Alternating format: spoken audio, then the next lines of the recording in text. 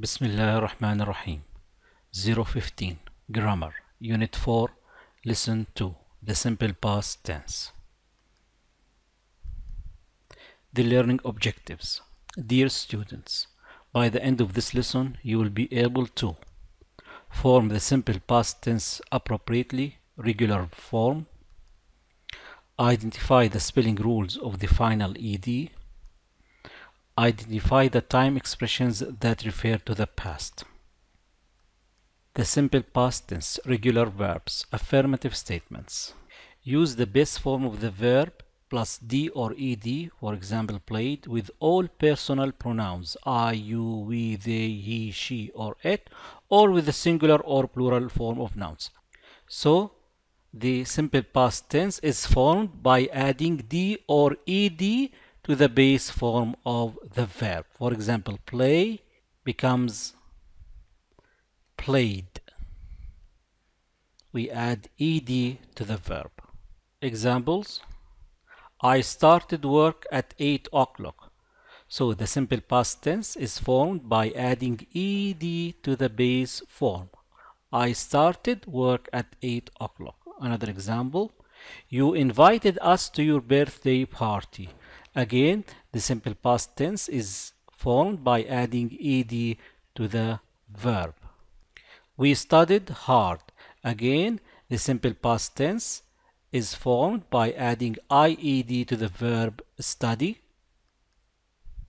They missed their flight to London. Here also, the simple past tense is formed by adding ed to the verb. He finished work at 5 o'clock. Again, the simple past tense is formed by adding ed to the verb. She played tennis yesterday. Here also, the simple past tense is formed by adding ed to the verb. It rained last night. Again, the simple past tense is formed by adding ed to the verb. So, the simple past tense is formed by adding d or ed to the base form of the verb. The simple past tense, the spelling of the final ded.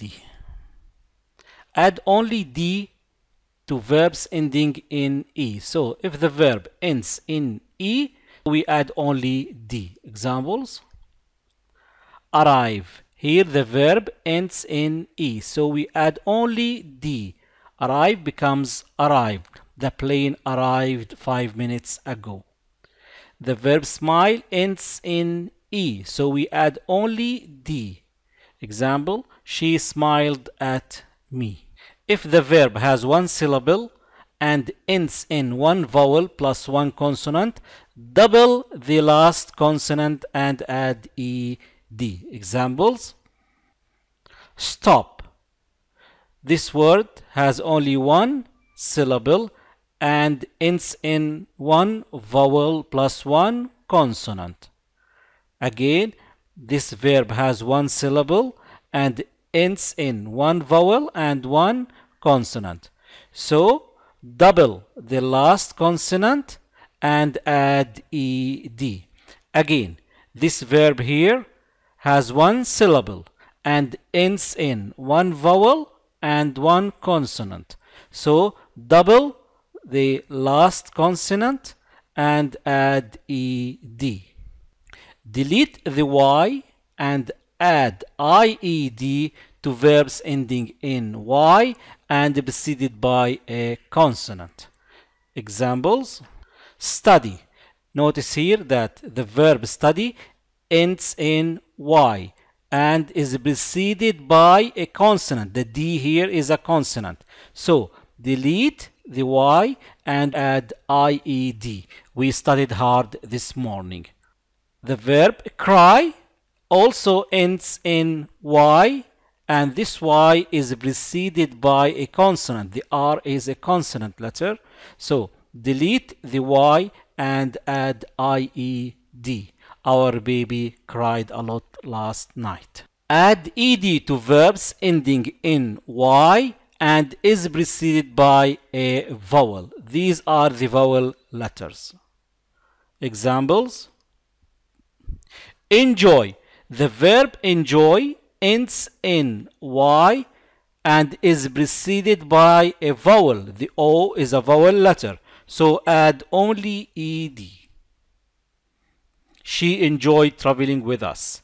The verb play also ends in y and it this y is preceded by the vowel a. So we add ed to the verb. He played football last week.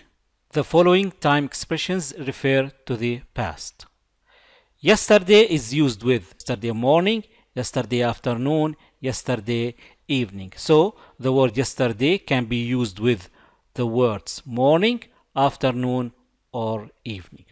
Last is used with words like night. So we say last night week. We say last week month. We say last month year last year summer last summer monday last monday etc ago follows specific lengths of time. So we say 5 minutes ago 2 hours ago 3 days ago a week ago 1 year ago 6 months ago etc thank you for listening